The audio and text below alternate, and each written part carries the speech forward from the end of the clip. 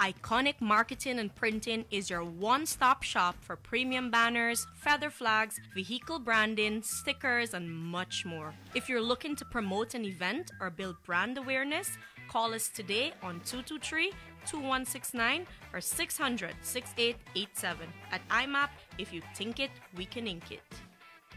Get ready for a totally immersive gaming experience. Only three rules apply. You must be 18 years or older. Know your limit. Play within it. Blast. Lift off wherever you see the sign. The thing that needs the most care in the world is the skin of your baby. New Predo Baby. The skin of your baby remains dry with the extra dry green layer of Predo Baby. It keeps the wetness away from your baby's skin with its high absorbance capacity. The flexible side bands of Predo Baby suits up completely the body of your baby. The textile exterior surface provides airflow and protects the skin of your baby day long. The cotton soft texture of Predo Baby gives peace to your baby. Predo Baby, the new diaper of the new generation. Distributed in Guyana by Saria Manufacturing Inc.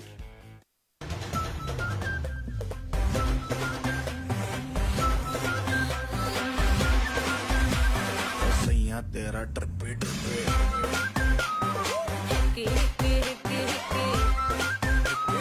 सैया तेरा ट्रिपे ट्रिपे ओ सैया तेरा ट्रिपे ट्रिपे Flavor up live with remixed magic moments vodka. Tired of changing your baby's clothes? We have the perfect solution. Sleepy denim diapers, giving you that fashionable denim look throughout the day with the same soft touch. Look cool, look hip, rock in style with Sleepy Jeans. Distributed by Saria Manufacturing.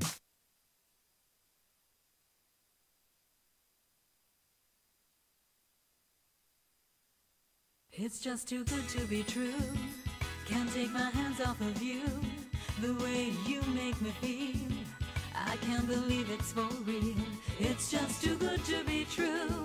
I love Bank Shandy. Nothing tastes so good. You love Bank Shandy. Tastes like a shandy should. I want my shandy. It's just too Now good available to in five exciting flavors and in green returnable bottles.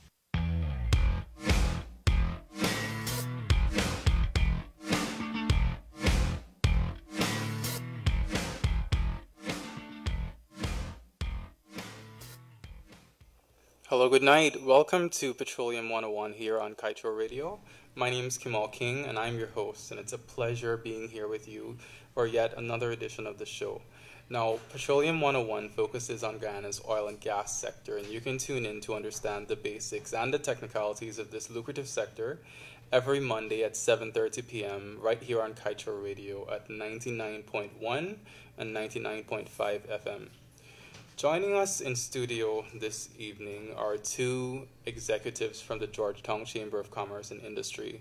We have the Senior Vice President, Mr. Timothy Tucker, and on, on his left, we have Mr. Richard Rambarran, who is the Executive Director at the Chamber. And tonight, we're going to be talking about barriers to doing business in a budding petrostate. Now, Kaieteur Radio has chosen to have this conversation against the backdrop of the fact that the World Bank has released a report showing that Guyana's business environment it may be doing a bit poorly, and there's a lot more that can be done to improve the ease at which businesses can operate in this country. We're also going to be getting into a conversation a bit about local content and barriers to trade in the CARICOM region. So, um, good night, gentlemen. Good night, Kimal. Thank you for having us. Now, let's open this conversation by talking a bit about the businesses that are under the, the umbrella of the GCCI. I want you to tell me uh, could you give an assessment right now of those businesses' level of preparedness for petroleum production? Well, the level of our business, uh, our members for petroleum production, um, I wouldn't say that if you're looking at petroleum production as you um, speak in terms of where we are and how we can contribute to that, um, I don't think a lot of our businesses are to the to the tier one expectations. Mm-hmm. But um, in a wider context of what is needed and where we are, they are the low hanging fruits that our businesses can take up immediately. We know transportation services, logistics services, and a number of other, um,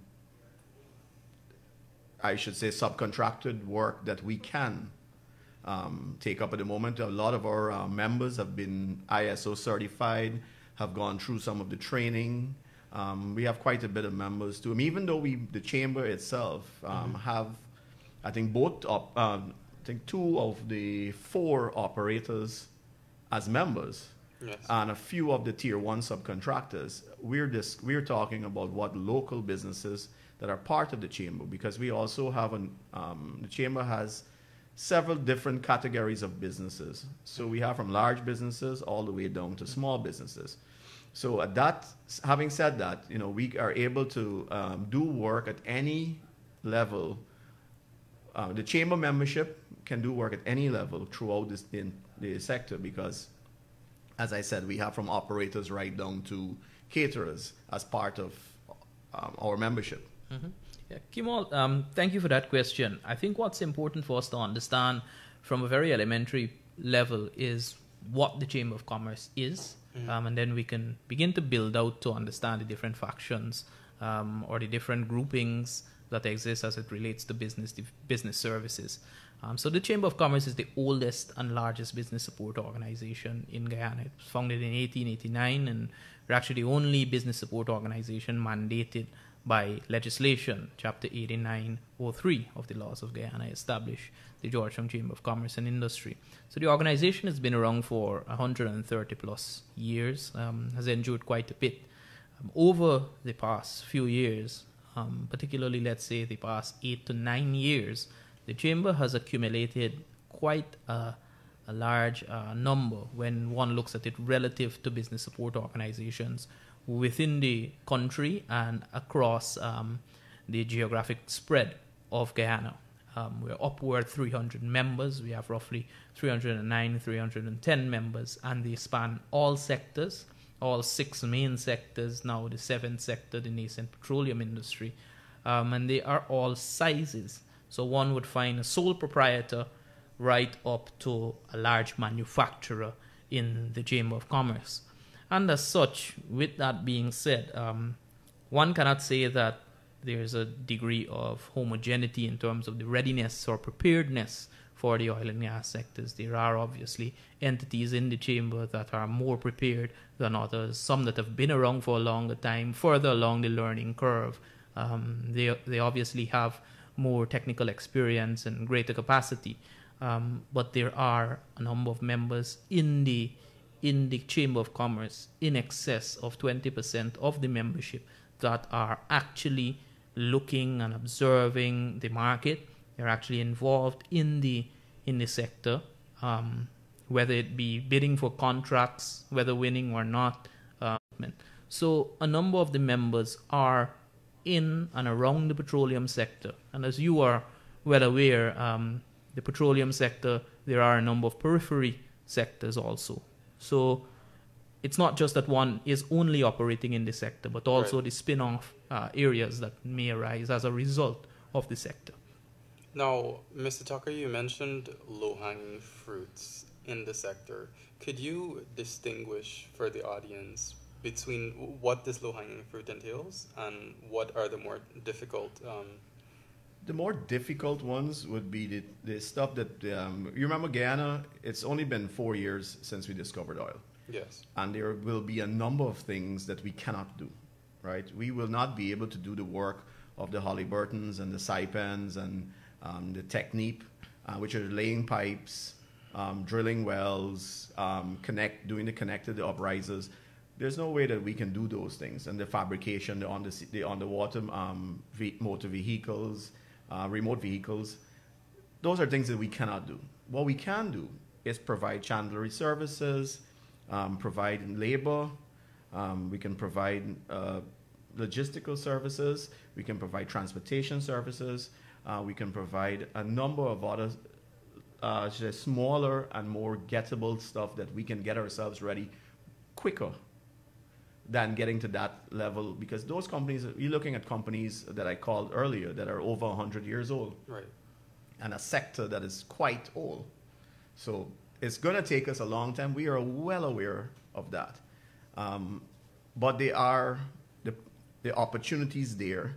And I think that's one, that is one of the major problems uh, that there is out there that not enough information about the low hanging fruits. Are being exposed to the public so that we as business, pe- business people in Guyana have the opportunity to develop businesses or young entrepreneurs have the ability to go out and say, listen, this is a part of the sector that we can probably just raise the bar, raise the standard of our existing businesses, and provide services to these sectors. Hmm. Okay, sure. Now, how long would you take? How far down the line do you think it would take for our local businesses to develop the capacity to do more oil sector specific work? And what would it take to empower them to get there? We will have to invest a lot in training, but more so, the, the, with the absence of local content, um, policy, or legislation, right? Um, which local content policy or legislation would force businesses that are coming into the country to partner with local people to bring us up to the capacity almost right away mm-hmm. to service that sector, but the transfer of knowledge when those partnerships or joint ventures take place, right, will be a matter of in five or ten years, depending on how the partnerships are formed. Yeah. The possibility exists that we can those things can rub off. And then when this when the petroleum sector, like everything else in the world, um, things end, and it becomes not feasible to do it anymore, and the everybody packs up and leave. We have companies locally that now can go to our neighbor. By that time, I'm hope that they got their stuff together.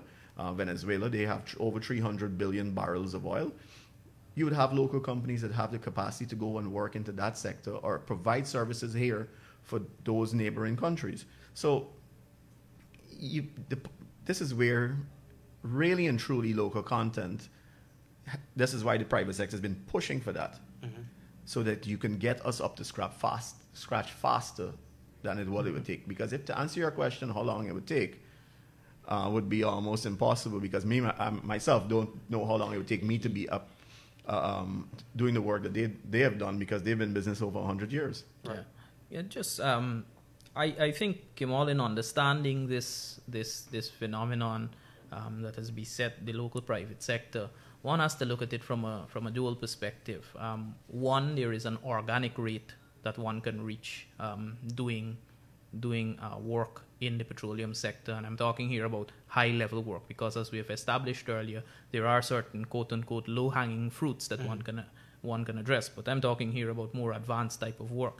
Um, there is an organic way we can just leave it, and over the years we will develop that, and people will learn, etc. But there is an accelerated way, and this is the way that business support organizations such as the Chamber of Commerce and the roles of government to accelerate uh, businesses and business development in a country. Um, local content is certainly one, and when persons hear local content, they oftentimes they oftentimes think about just giving an entity or giving a local entity first consideration or perhaps um, you know streamlining or targeting numbers for employment or for contract awards etc but there's a critical component of local content called technology transfer and skills and training development that timothy alluded to earlier and this type of arrangement can aid in accelerating business development in Guyana. Um, and we, we can we can explore some more avenues of such. Um, so the timeline that, that Timothy gave earlier, I think with uh, the approach of a joint ventureship, with the enactment of a local content policy, those two conditions um, could see high level of work being done in the sector depending on the range of the, the technicality, within three years uh, to eight to ten years, thereabouts, uh, if we were to put tangible or material numbers to it. Um, and as you know, culture also plays a very important role in the rate at which a society learns. And I think that Guyana and Guyanese have proven themselves time and over to be fast learners, um, resilient people, and very eager to learn and to explore and to understand new opportunities that may arise in an economy. Okay. Now, we've had three local content policy drafts, and the Chamber has submitted comments on the third draft and suggestions on how it could be made more effective. What are the key suggestions that have been made by the Chamber to empower businesses to uh, eventually bring themselves on par with the Halliburtons of the world? So, thank you uh, for that question, and I think it gives a wonderful segue into the discussion of local content and entering into the uh, material or the substance of local content. Essentially, one has to understand first the type of local content which chamber is advocating for, and we call it flexible local content or market creating local content. It's one that doesn't, unlike uh, Ghana and unlike mm, uh, Brazil and other countries that have rigid local content policies with targets, the Chamber is discussing a local content policy and advancing a local content policy which is uh, flexible in nature and it refers to first consideration for local companies. Um, now, if one observes what first consideration is, it's essentially if a local is providing a service um, that, that that consideration should be given to the local company first before any other. Um, as is necessary, that would have to go hand in hand or be married with a competitiveness plan for the development of the local private sector. Because obviously, here you're talking about simply giving first consideration to local companies. How competitive you are is determined by a number of other factors, and that's where the discussion of the doing business index and so on comes into play. Um, but that's that's part and, and parcel of the thrust of the local content policy that the chamber has been advancing. Flexible, um, non-targeted, and one which has technology transfer written into it. Um, one which has certain penalties for not abiding, not in a, a specific form, but more as a prescriptive measure. Because, um, of course, we would expect that legislation at some point in time within the near future would be enacted. Um, the paper that we have drafted on the third draft of the lo- on the third draft of the local content policy is a short paper. It's roughly ten pages, mm-hmm. um, and it came out of discussions from the local content policy forum, which we held um, as you are aware, where we had a number of stakeholders, person, persons asking questions. Um, also, discussions from our pet petroleum subcommittee, the technical subcommittee in the chamber that observes and, and analyzes the petroleum sector. So, essentially, it's one that is a market creating local content policy and one that is flexible in nature, that allows for first consideration for Guyanese companies. So, it talks about that employment, technology transfer, and penalties. Those those are the four four main sections of our local content policy. Okay, I'd like to bring the conversation now to local content and how that intersects with other CARICOM states that want to come here to do business because they want to capitalize mm-hmm. on our Guyana's newfound patrimony. The chamber has raised some issues about barriers to trade that have historically been put up against Guyana by our sister states. And you have also suggested that Guyana can, should now leverage its newfound patrimony to advocate for better conditions. Could you first describe the relationship between Guyana and, and the states that you've mentioned? I think it was Jamaica, um, Trinidad and Tobago and Barbados are the ones that you've said have put up certain barriers to trade that have disenfranchised Guyana. How would you describe our current relationship with those countries? Our trade relationship. I think specific. Timothy would be the best person to start that conversation off. so, the problem we have with trade and the trade in, in our interregional trade is that somehow Guyana um, has been, been put at the bottom of the barrel and not been given a fair opportunity to get out of that barrel. Mm-hmm. Um, our goods are deemed substandard, our services are deemed substandard. We as a people are treated substandardly, and throughout the region. Um, and I think that because it's not, I wouldn't just want to limit it to those three countries because there's also the organization, the Eastern Caribbean States, which is an organ, which is an organization within CARICOM that we can't even get access to. So you have those three countries that you would have mentioned just now, plus the Organization of Eastern Caribbean States, that are all have different things that over the years, I mean, in when CARICOM was set up, Guyana played an integral part of it. Right. Right. Um, it is something that Guyanese hold, I would say, very sacred in terms of our role that we played. But we have not been treated in that way. And what you're looking at is that over the years, even though they would have accepted some of these good um, products from us, and some of the, when we would have hit hard times, they mounted serious trade barriers that stopped our products from going to, the, to, those, to those countries. Now, each and every one of them are flooding to Guyana. And they're coming here because we are open up. We have always been open. We have not put any barriers in place to block those people or those countries. And now that they're all here, they're using, I mean, they're basically also doing their own thing behind the scenes, so to speak, Mm-hmm. where they're only trading with each other. Yes. They're again, they're in our country and doing that. And this is the problem that I, that I have because when you look at what we have indeed, I can give you the numbers, right? If you look at the trade numbers, the I think it's only Jamaica and St. Lucia, and we are at 1.7% of the exports.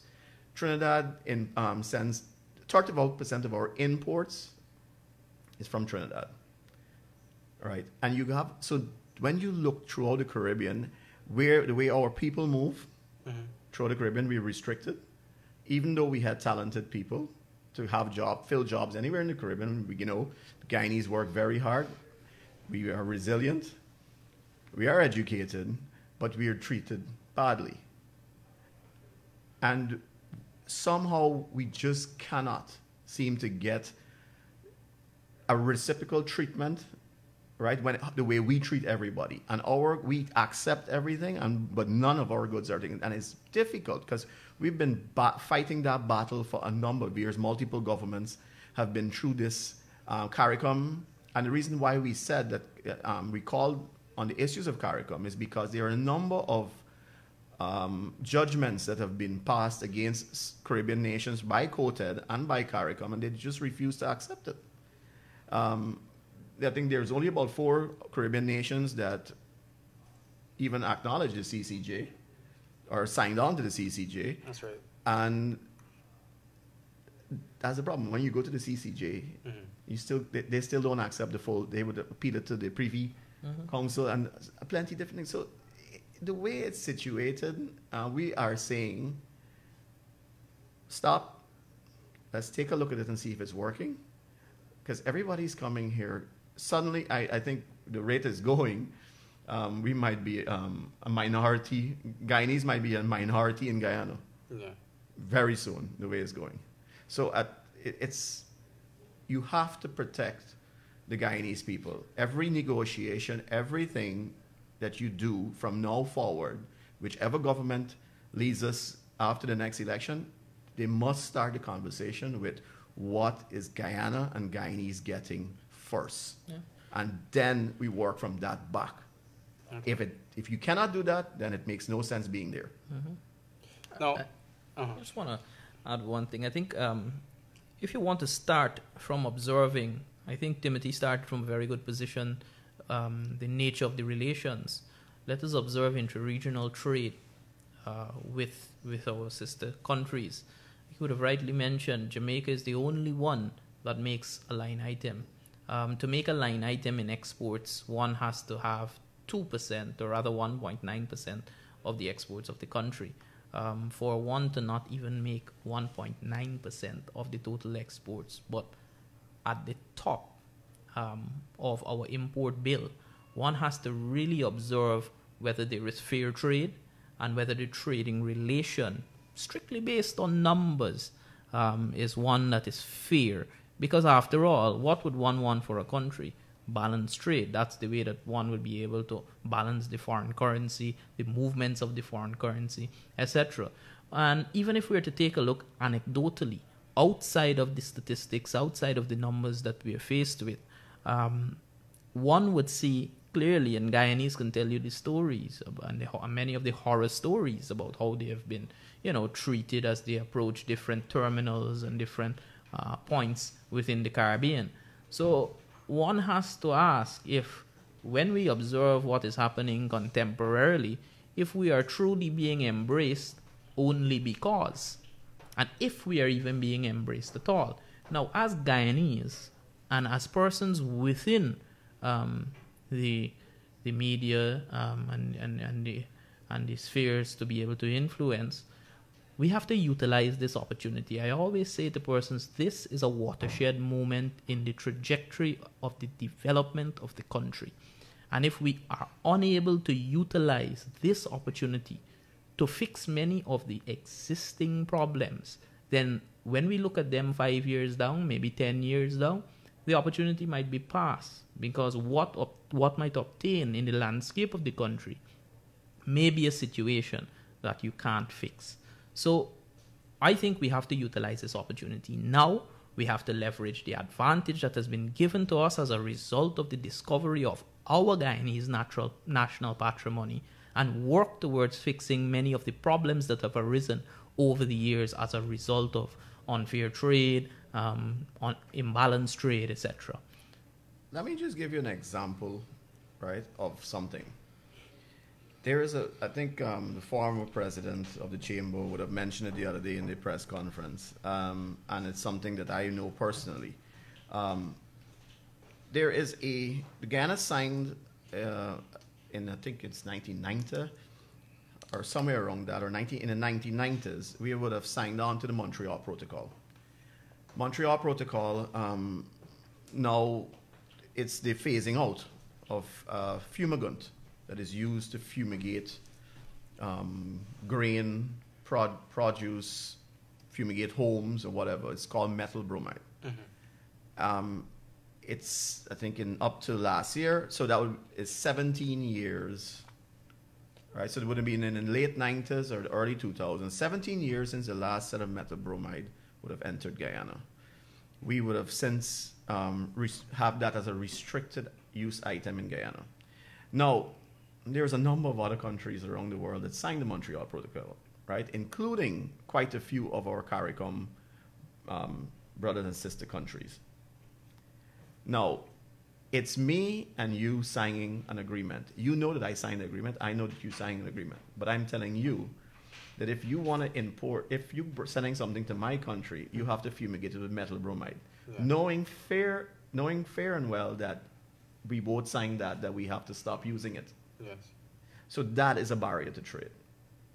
So now, things like cassava, edos, um, quite a few number of the ground provisions and, uh, that are there cannot be exported to quite a few of the Caribbean nations because we, they're saying that it has to be fumigated with methyl bromide, yet they can't use it in their country. All right, now. Um, we're going to take a quick two minute break. And when we come back, we're going to get into, we're going to get deeper into this conversation. I'll ask these executives to talk to me a bit more about current um, barriers to trade. So back in a, back in a flash. Ways to enjoy meals. A well done meat, three quarters, or half. There are tastes for everything. Or what about chicken? Some love wings, others the thighs, and others the breast. Agreeing on which part is impossible because they're just like Coca Cola, from everywhere and for everyone. Because, despite the differences, we will always come together to enjoy our meals with a Coca Cola. No sugar. Better together. Coca Cola. Tropical delight,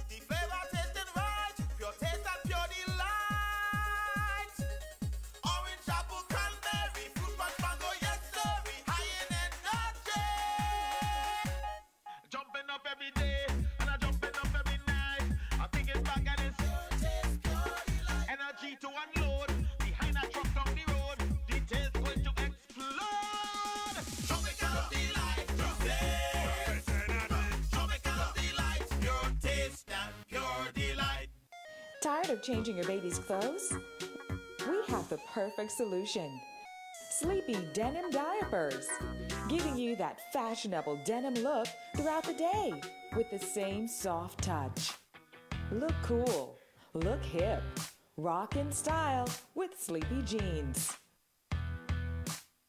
Distributed by Saria Manufacturing.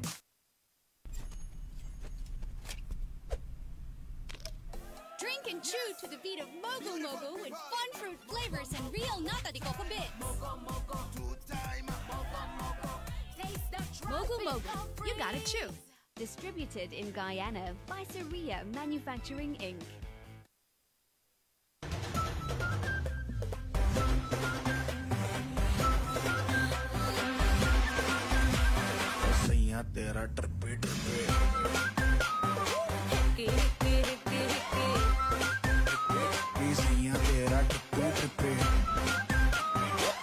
ओ सैया तेरा ट्रिपे ट्रिपे Flavor up live with Remix Magic Moments Vodka.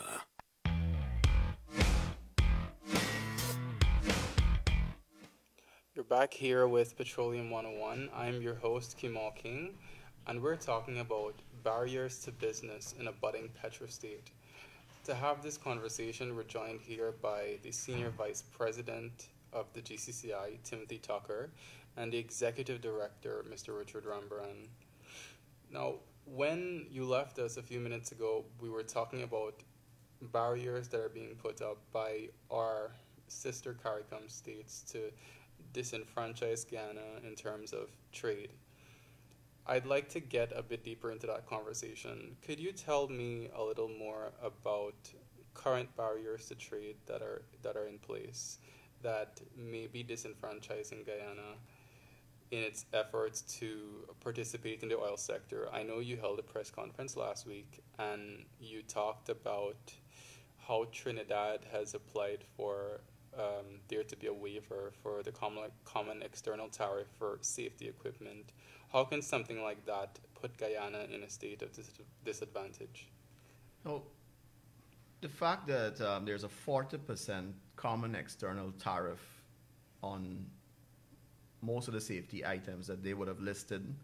Um, Guyana, so a local businessman bringing, because we don't manufacture safety equipment, hard hats, safety boots, glasses, gloves, reflector jackets, um, overalls, um, well, I should say chemical and flame resistant overalls and a few other things. Um, now, you have those things and they're quite expensive safety equipment, proper, good safety equipment. And you have them coming in, imported into Guyana, we would have to pay, um, I think, 40%, and then we pay 14% VAT on top of that. So that now, when that common CET is waived, is a, the waiver is granted to Trinidad and Tobago, they would um, now basically bring it, bring something in 40% cheaper than we can. Um, automatically, if I was buying stuff um, for the industry that is offshore, um, what is to say that I wouldn't buy it offshore, supply, equip all my men that are operating off of the shores of Guyana, um, and have them equipped with cheaper safety equipment. Um, so basically, that puts us at a disadvantage, and we would have um, said to the, the Ministry of Foreign Affairs that we think that Guyana should go on the coattails and apply for the same waiver, um, so that of course we remain competitive. Now I, I'll give you some history on that.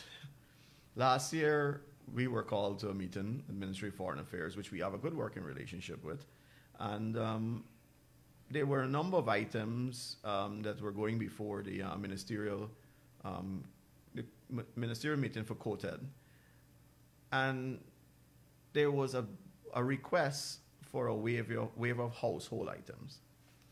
So in the meeting, we would have said, can we see the list of household items? And they had TVs, microwaves, and there was a number of items going down. And then in that list, there was safety boots, safety glasses, hard hats, all these things here. It was hidden away Mhm. in household items. And that is, so that is the level of deception that you deal with, right? And this is where we have the problem. where the, the, the local businesses, because we're sitting there with foreign affairs, and then that is found by us. And these are the kind of things. I mean, we're looking at some of the barriers that we would have spoken about earlier. We were promised a year ago. Dr. Rowley came here when we, or a year and a half ago, when we would have said to the um, government at that time, do not sign any MOU with Trinidad until we get some of these barriers removed.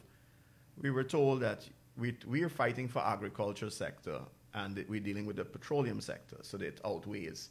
There's more money in petroleum than there is in agriculture at this point in time, right? There are a couple of cases around the world we can prove otherwise. Now, yes, we know that, but how do you, we cannot, as a country, rely on one sector alone.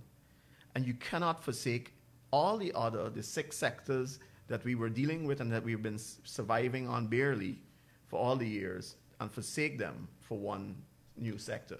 Because majority of Guyanese people, the reality is, will never work or supply the petroleum sector with products and services, especially the way the, at the rate it is right now, without any legislation.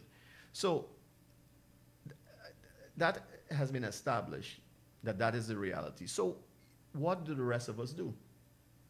We have to provide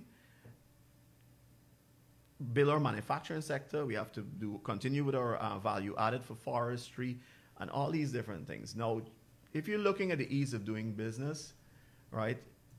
Electricity is the main cost. Once we lower the electricity cost, we are going to be able to be competitive. We are not asking for the petroleum sector to subsidize any sector. That's that's crazy to do, because you would never know the true value and the true economic value of that sector if you're going to subsidize it. So you really and truly have to develop those sectors, but you have to what those sectors cannot give you the infrastructure. Petroleum financing will do that. So you can take the money that you're going to earn from the petroleum sector and build better roads, access to markets, um, packaging facilities, um, all your road to the farming community. If you want, you can build a, um, a refinery, um, lower the cost of fuel, lower the cost of uh, fertilizer, lower the cost of so many byproducts that all the other sectors need. Mining is fuel, um, mining, logging, because um, you're looking at transportation. You can build your road, your, um, you can build good deep water harbors, and you can, you can open up the possibilities for all the other sectors. But then you, I mean, the amount of infrastructure spending that you have to do for that, those sectors cannot build it. We, we haven't been able to do it over the years. So those are some of the issues that you have dealing with it and coming back to, um, to what, it, what is really happening here. You have them creating, I should say, trying to sneak in and get these levies removed. We caught them, then they came back now and they brought it to us. Yes. So we would, we would say now, okay, fine. At least Guyana must have the same privilege because we want to be competitive too. And that's basically where we are when it comes to the, um, the safety equipment and that we would have mentioned the other day. I want to bring a concept in here, Kimal, and it's something which, within a regional agreement, within a customs union, a, a, a free trade area, and uh, when countries sign any treaties to have a free trade area, it's a critical rubric to have, and that is the notion of good faith, and the notion of good faith negotiations and good faith behavior. The instances that Timothy have highlighted that have gone, those of uh, using the mechanisms within the trade, the trading area, um, you know, sneaking things in, um, putting up artificial barriers to trade, and such like, they are not uh, demonstrative of good faith behavior. And I think that is where uh, Guyanese are receiving the short end, right? We are not dealing with countries that want uh, or, or, want to behave in a manner that is good faith, um, and that is the beginning of tensions within any free trade area. If you look at those that have gone before, um, if you look at one of the reasons why the original federation would have collapsed with uh, before CARICOM, if you look at what has been happening in the European Union and with countries exiting, etc., it is the on the underpinning of it. It's not a technical or an economic concept or any development concept. It is one that is social of, of social psychology in nature, and that is good faith behavior.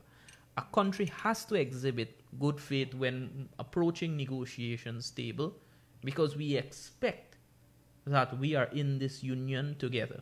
We expect that we are all here to aid in the development of the regional industries. And one has to ask or one has to question if that regional ethos has been in place for the past couple of decades.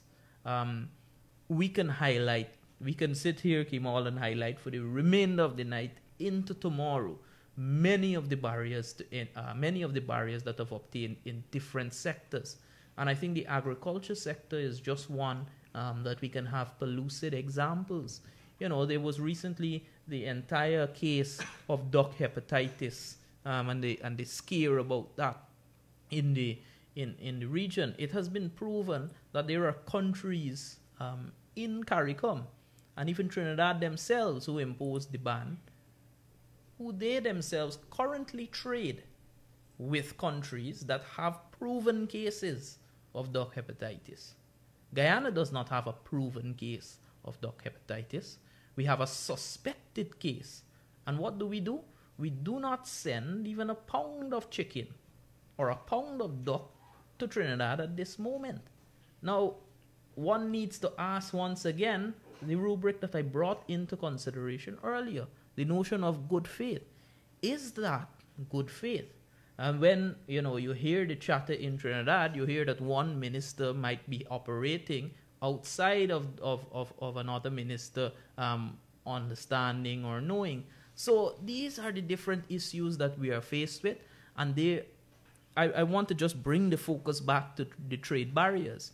Obviously, there are certain natural barriers to trade that exist. For example, Guyana may not be as competitive as some other countries um, in terms of the level of infrastructure, the reliability and the quality of electricity, um, the incentives which are offered for local manufacturers, the fiscal regime, the economic stability of the country, amongst many other things. And those will uh, obviously affect the competitiveness of the economy. And those we understand are natural barriers to trade, and those will take time and deliberate action on the part of government and private sector to improve.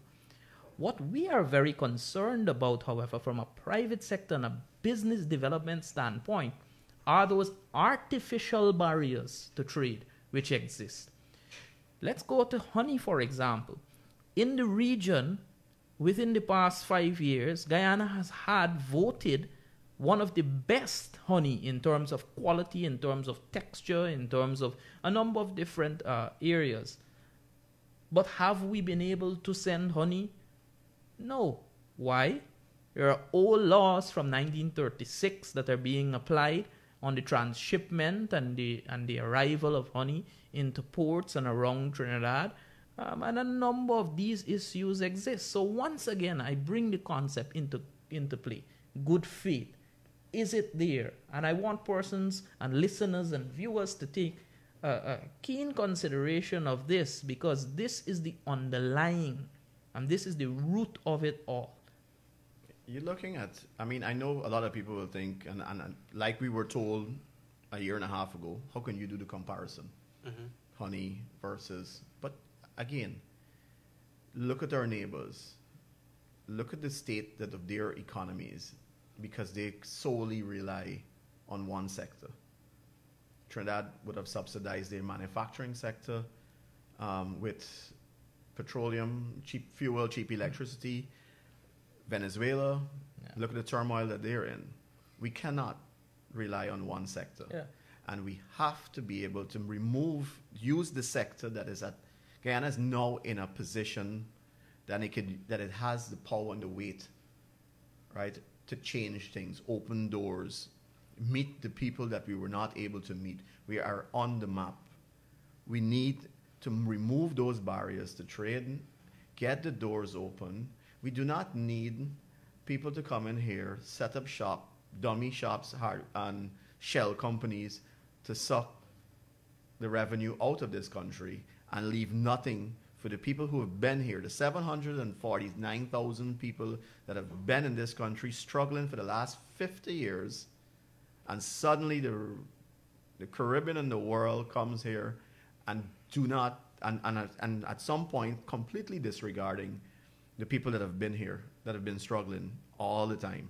We have, I mean, and they're coming and they're getting land, they're getting um, all the concessions, and you have businesses that have been here in existence 40, 50, 60 year old companies that are not getting those um, deals that have been paying the taxes and have been work and doing the, the and good corporate citizens and donating and contributing to everything from non-governmental organizations to political parties and have not been getting any concessions. So really and truly, we are asking that, come on, our government has to help the private sector, like because that is what those barriers that you see that are being placed all over the um, Caribbean are there to protect the private sector in those countries.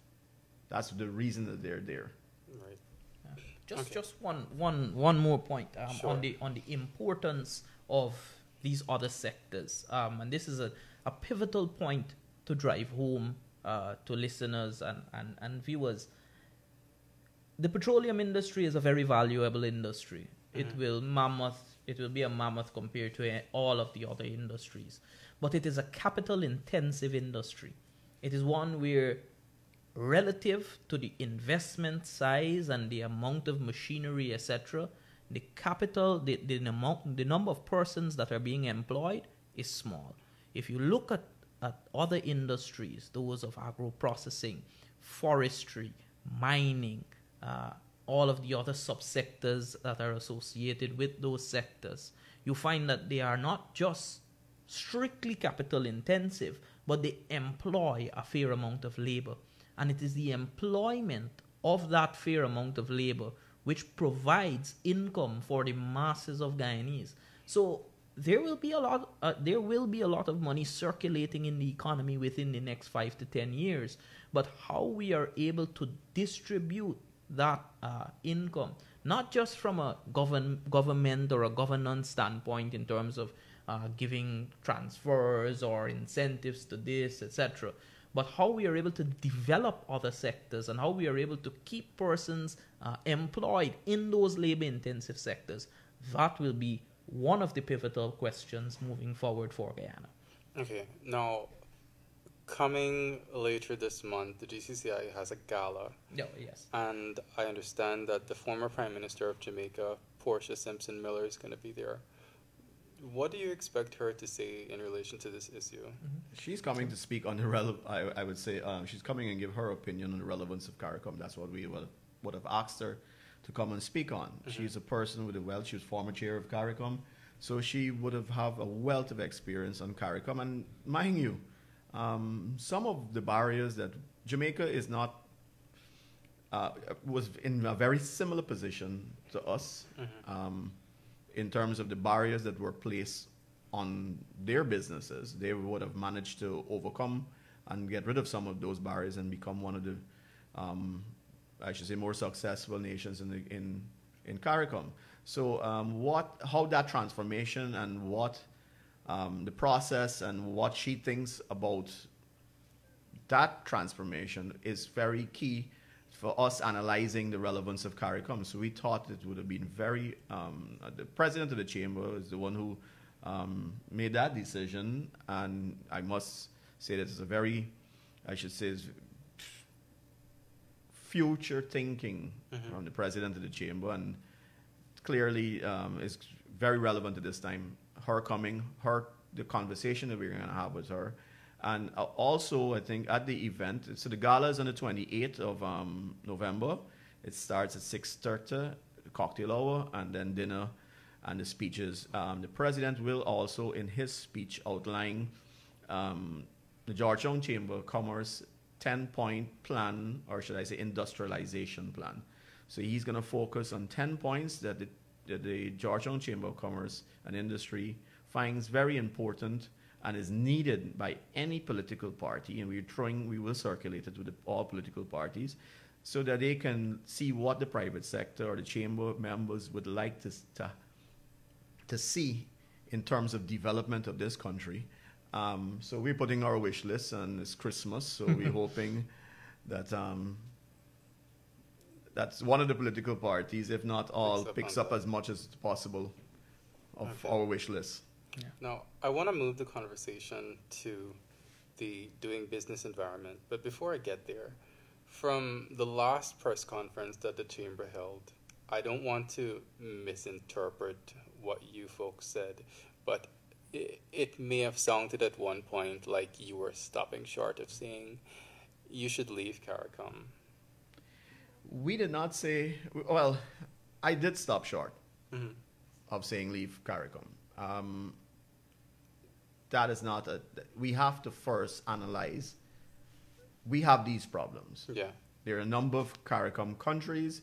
They are, a, there's a subsector within CARICOM which separates CARICOM. So when you have, you have a family and then you have a subsector in the family and then you have members of the family putting up barriers to deal with that family, then you stop and you have to analyze it and see is my presence and my contribution to this family even worth it anymore? Does it make sense? And it has to be something that we we look at in its totality and see if if we are getting what we were in what our forefathers intended for us to get Mhm. when we created and, and took part and got involved in CARICOM, are we getting what we're supposed to get? Is it being what it's supposed to be, right? Are we getting access? CARICOM, we know that Guyana is 700, under a million people.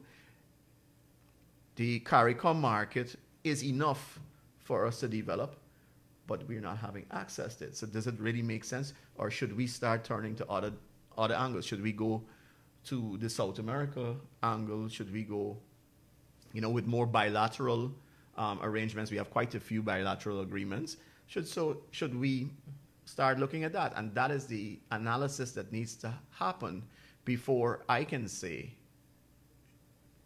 let's exit Gary, let's guy exit, so to speak. I, I think Kimal, uh, Akir, that's a very um, interesting terminology. a very careful examination needs to be made of CARICOM and the net benefits that accrue to Guyana as a result of our uh, our presence in CARICOM. Like Timothy has alluded to, I believe that there are a number of uh, benefits that could accrue to Guyana, and uh, some benefits have been been accruing to Guyana over the years. I don't believe that the regional development model um, is past its its usefulness. I do believe that there still is some usefulness in that mode of development. I think that uh, given the common history and given uh, similar similar circumstances which the countries were birthed out of, um, there does exist that, and there is that common cultural identity, as many Guyanese would know if they go to a foreign country and they meet a Caribbean person, it's almost as if they're chatting with someone from home. But like I said, um, these are artificial barriers to trade, which we have been talking about. And it is not as if these barriers, when removed, will not bring benefit to Guyana. And as such, we would hope that our neighbors and our brothers and sisters in CARICOM would act in good faith to remove some of these artificial barriers. And as such, allow benefits to accrue. If benefits scheme all were not there for for for uh, to be accrued to the Guyanese economy, then the Georgetown Chamber of Commerce and Industry would not be fighting for them to be removed. Yeah. So there is tremendous economic benefit in CARICOM. The private sector in Guyana, particularly the Georgetown Chamber of Commerce and Industry and its members, have seen the benefit that can accrue to uh, the proper usage, the proper implementation, and good faith behavior within the CARICOM region. So I don't think that it's a matter of let's just put aside the, the, the, the bat and the ball and pick up the wicket and let's go home. I don't think it's a matter of that. I think what we need to do is approach the table constructively and discuss in a manner with good faith where we are going to go and how do we go there. Guyana is one of the members of the CARICOM country, of the CARICOM region that is classified as uh, an MDC, a more developed country, as opposed to an LDC in CARICOM. And as such, we do hold quite a bit of weight uh, in the Treaty of Chaguaramas and and and, and the the uh, the mechanisms which are offered to us. So we have to understand our role.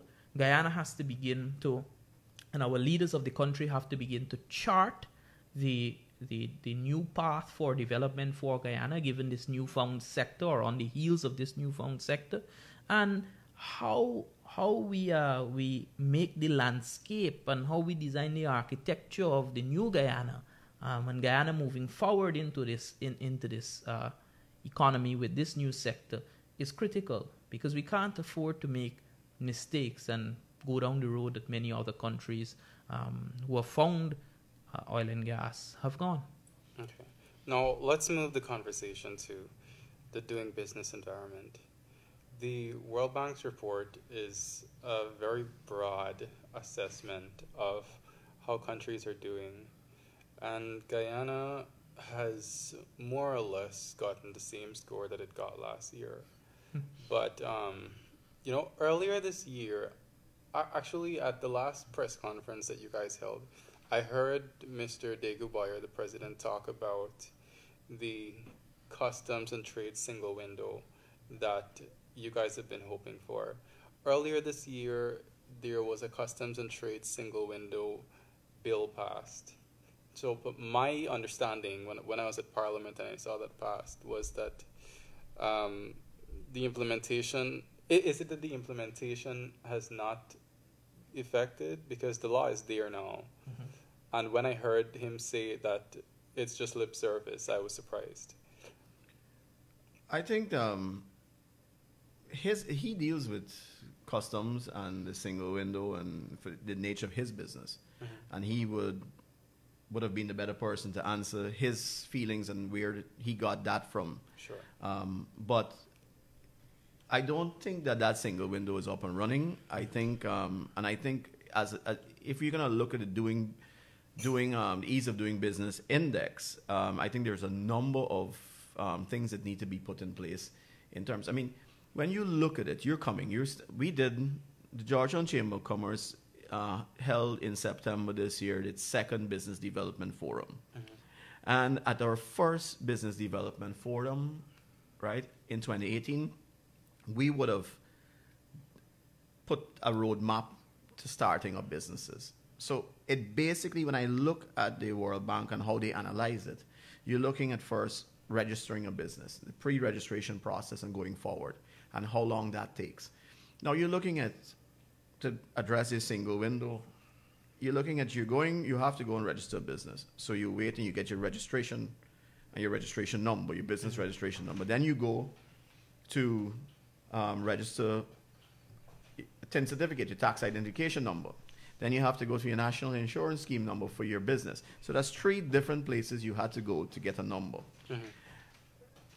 Now, now that business has three numbers. Wouldn't it not be easier if you had Just one.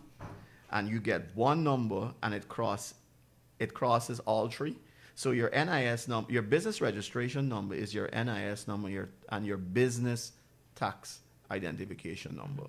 And that, of course, helps all three agencies to police it.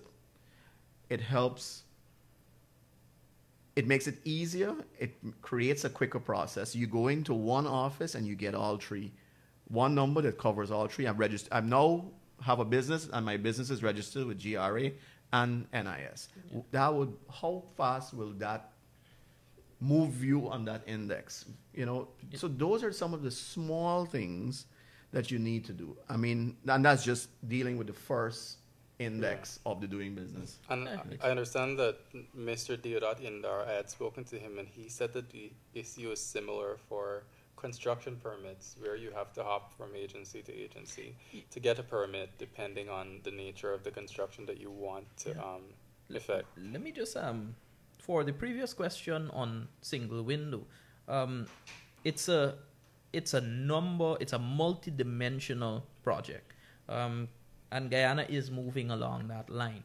Where we are currently, to my understanding and to the best of my knowledge, is the implementation of the ASYCUDA world, which is a different customs uh, system, and we have moved away from the old one, TRIPS.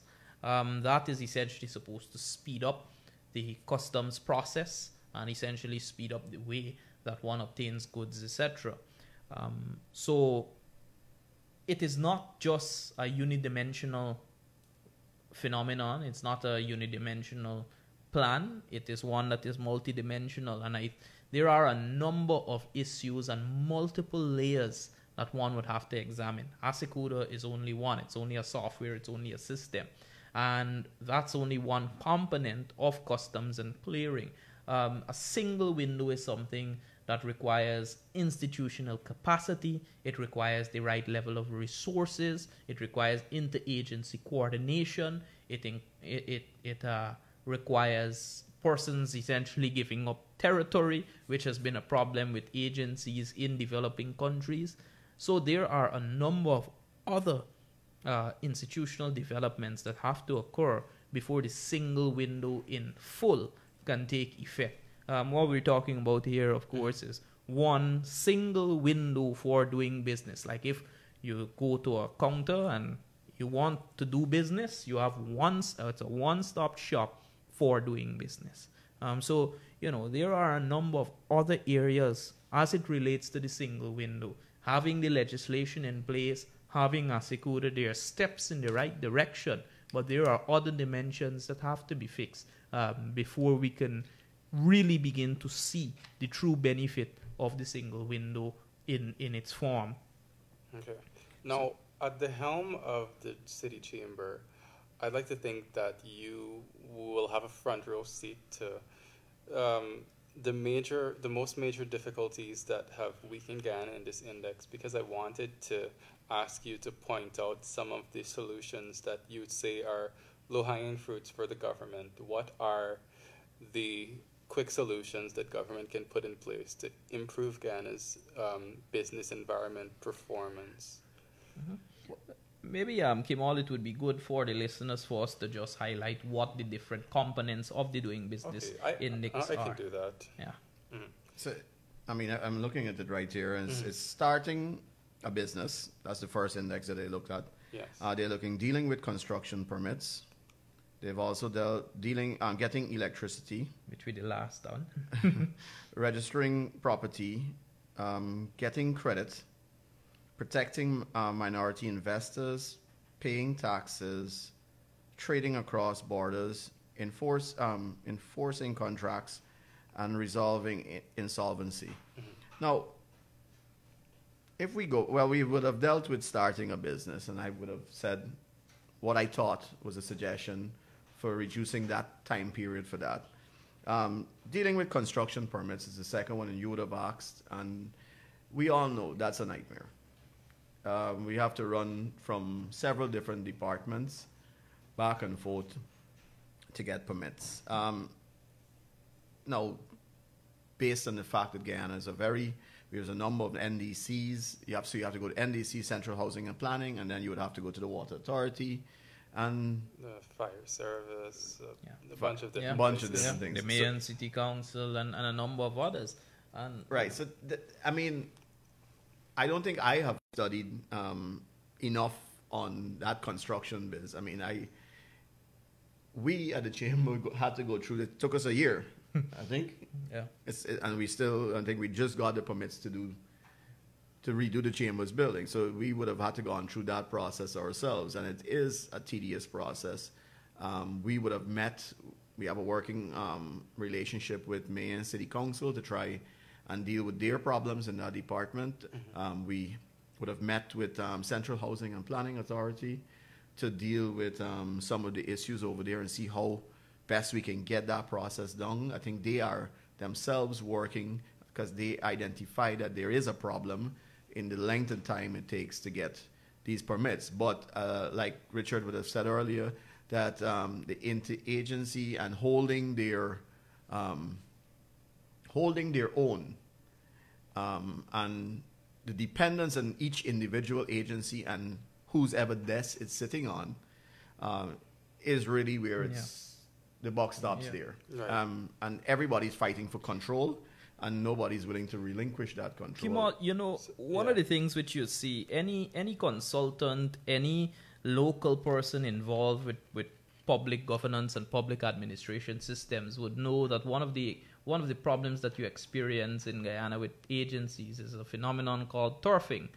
A lot of them believe that this is their turf, and as such, you as an agency should have no part to play in this. And that's been one of the things that's caused something called among public among public, agencies, and that that's been one of the one of the problems that has caused something called institutional inertia, resistance to change by institutions. Um, so this and and you were asking for some. We can go through this index by in this index um, dimension by dimension.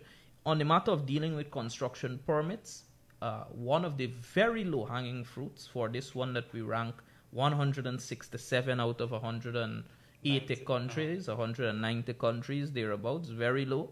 One of them is to have a national committee of interagency to coordinate construction permits.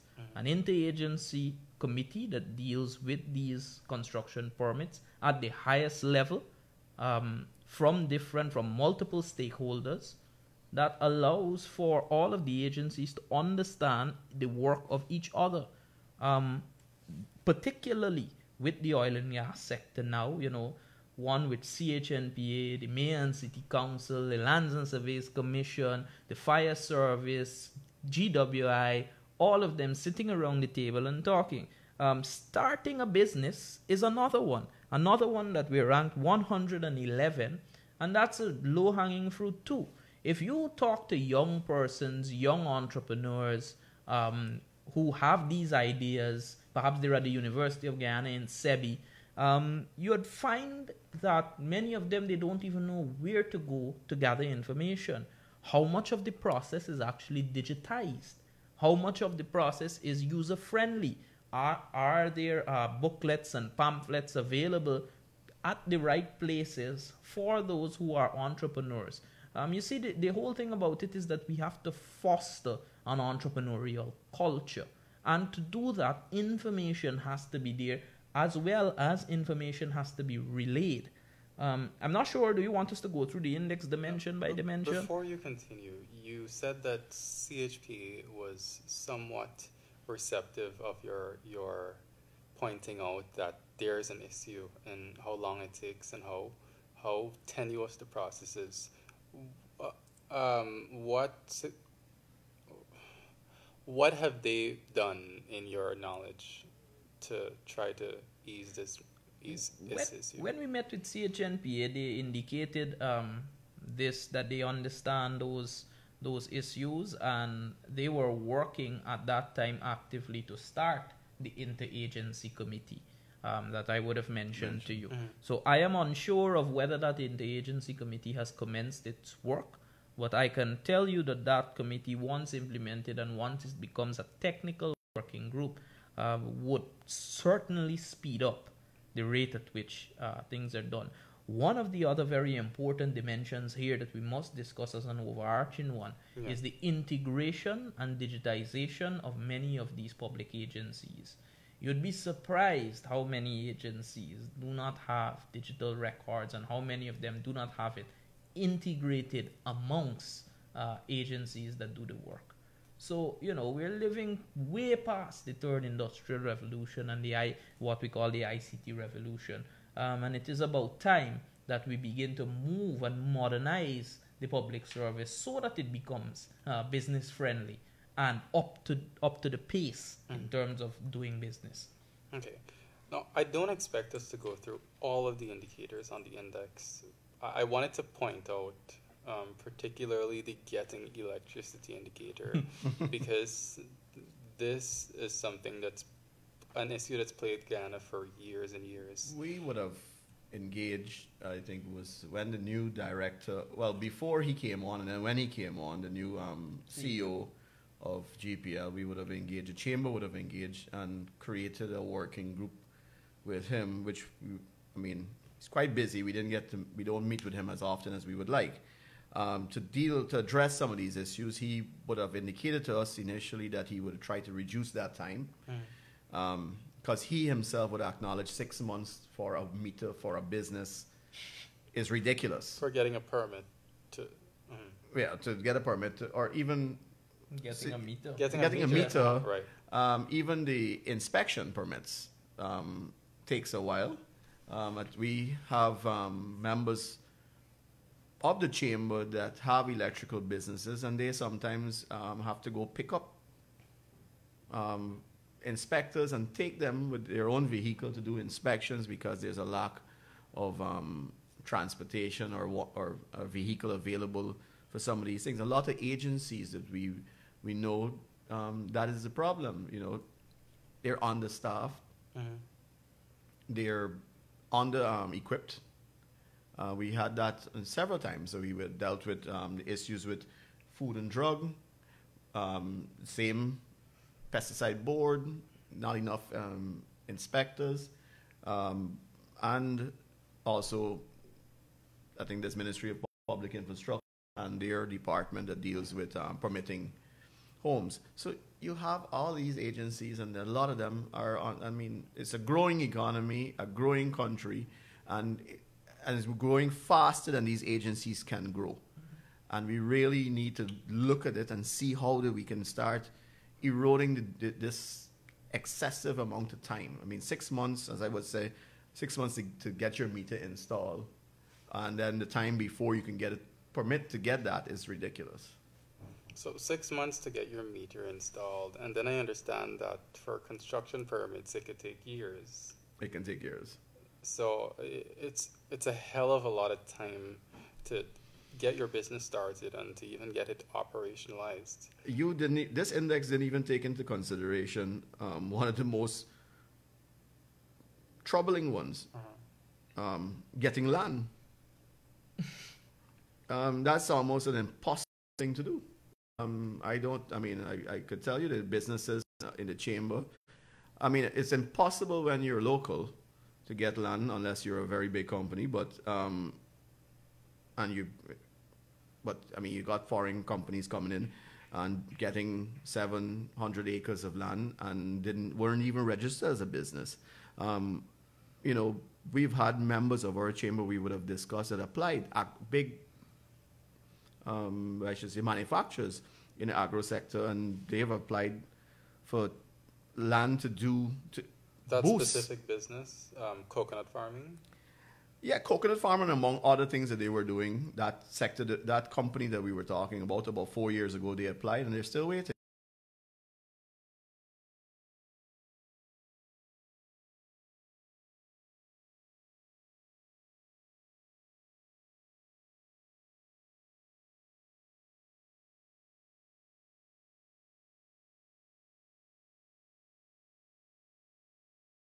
Have small businesses in, in the sector that are trying. I, I I've got a very good friend of mine has a small business, uh, and he's picking up and he you know and he he's doing his thing and he'd applied, put together a whole package and everything, applied for land, and then you're telling him twenty eight million dollars or twenty three million dollars an acre. Um, he needs about three acres, and that alone for a medium, a small to medium sized business uh, to pay that back, especially the, and I think we would have there getting credit Mhm, is on the correct. index, getting credit and credit and dealing with um, dealing with this here, um, is another crazy matter by itself. I mean, you're looking at the interest rates at the minimum if you're a really good borrower at eight percent. I mean, and as high sixteen, and it could go. And if you don't have good credit, it could go as much as 21 and 23 percent. How could we be competitive when some of the margins, especially if we're borrowing money um, to do uh, um, something that's very competitive, and, and the margins are maybe one and two percent? You know, so we really have to look at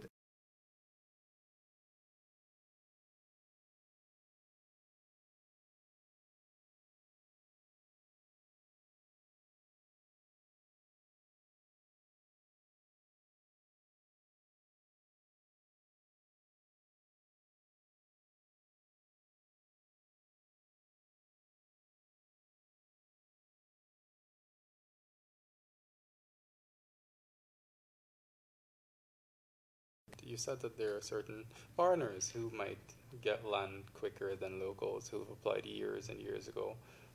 What have you observed would be the things that get you a shoe in to be allocated land? I would not be able to say. I just read the, I read the Kaieteur News and see that um, they're getting land uh, when I open the front page. but um, many times, um, we are told. I could tell you what what I've been told.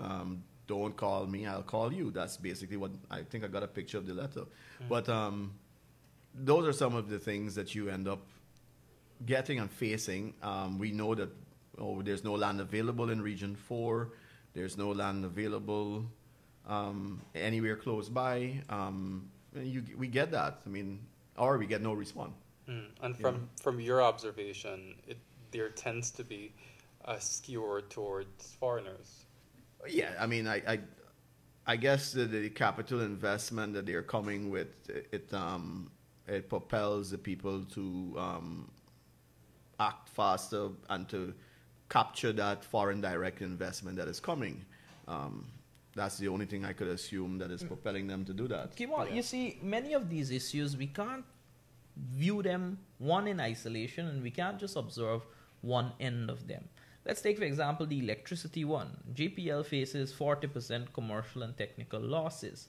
That in turn affects their, their financial performance and how they are able to uh, adequately supply uh, electricity to right. the country, which is a major problem in terms of not just the reliability but also the quality of electricity.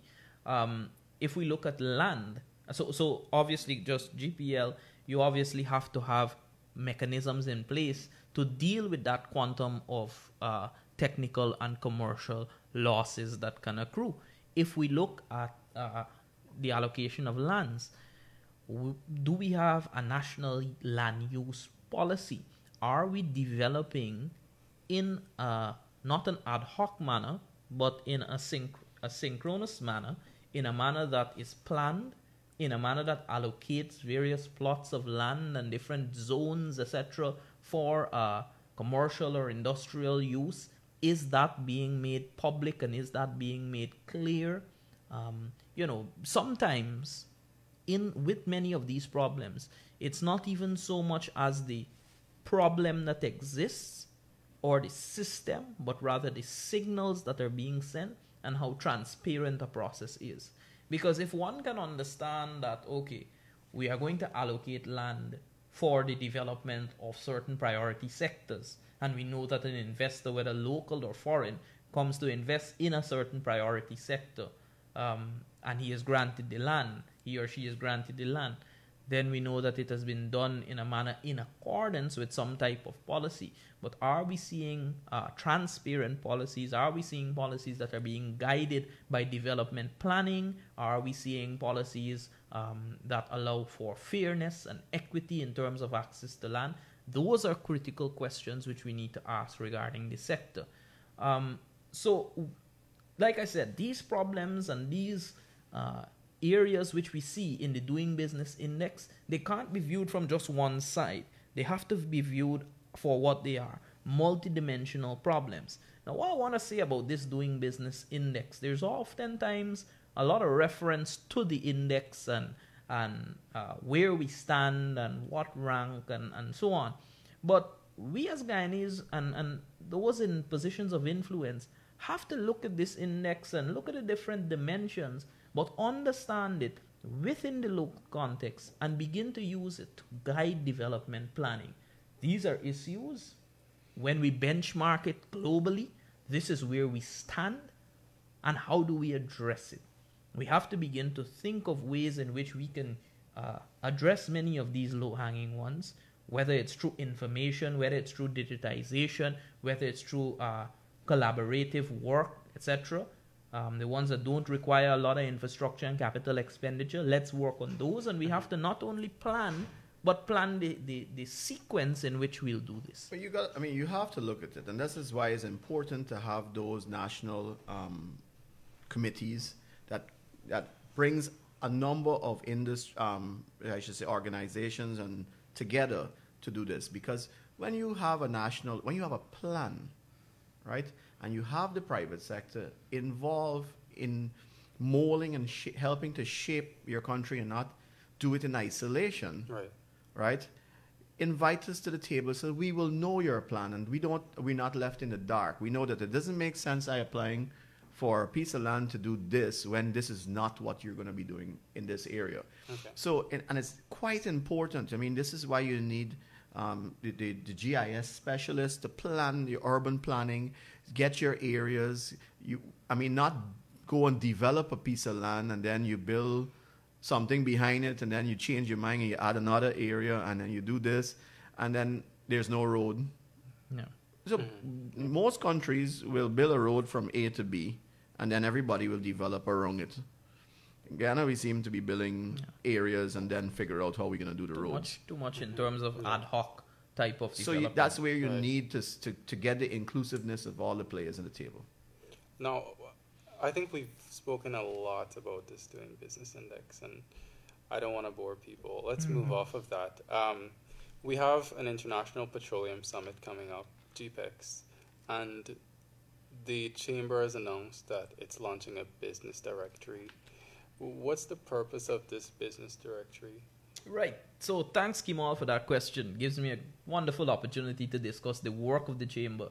The Georgetown Chamber of Commerce and Industry, as you know, we have a number of members, um, over 300 members, and we believe that we need to utilize this opportunity to showcase the capacity of the Chamber of Commerce, what businesses we have, who we are, and what we can do for persons. It's essentially going to be um, what a directory is, who the persons are, what what their contact information is, um, and you have different advertorials in there that not only discuss businesses but what those businesses can do, as well as it has a lot of the common questions which are asked about the chamber, what the chamber is, how to join the chamber, what the chamber can do for you, um, and such the like. We are going to be launching the business directory of the Chamber of Commerce on Wednesday night at the Oral Lounge. Uh, that's at the roof of Pegasus.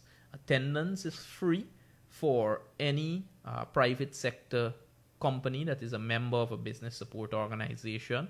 Um, or if you have been interfacing with the chamber, for example, attending our events, etc., our business development forums or various mixers, or any delegate that is registered for GIPEX.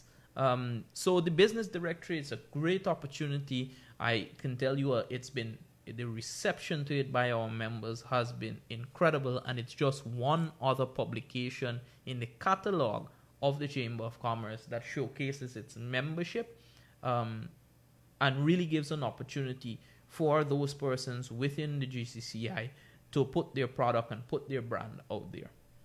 Okay. I want to thank you, the viewers and the listeners, for joining us tonight. We've had a very, very extensive conversation about barriers to doing business in Guyana, who's about to start producing oil probably next month or maybe January if the weather is bad. And all of this, I'd say, this World Bank Doing Business Index, it's really a judgment of